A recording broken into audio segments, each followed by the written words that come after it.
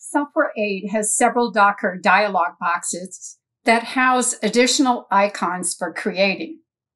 Some of them have more generalized functions, and some are used for activating specific effects and techniques.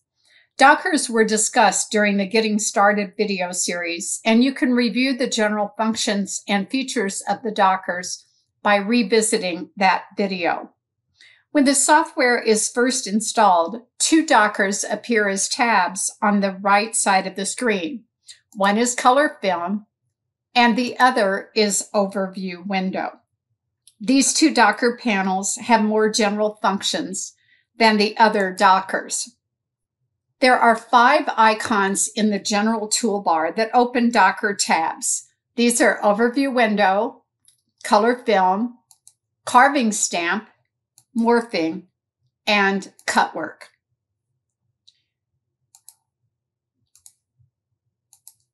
In this series of videos, we will look specifically at the color film Docker. My threads Docker was covered in the editing series of videos, while overview window was covered in the getting started series of videos.